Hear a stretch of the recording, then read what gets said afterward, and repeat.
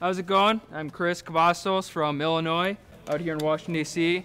Um, I'm here graduating with my bachelor's in business. If you guys are wondering what this is, this is a GoPro. I entered a contest where I could walk across the stage and represent the student body for the people that can't be here. So that's what this is for. It's for you, and you guys can do the walk across the stage um, while you're doing this from home or wherever you are. So um, again, I'm very excited and proud to be here. I think I'm about set to cross the stage. So again, guys, congratulations. We've done it. We did it together, guys, and let's do this together.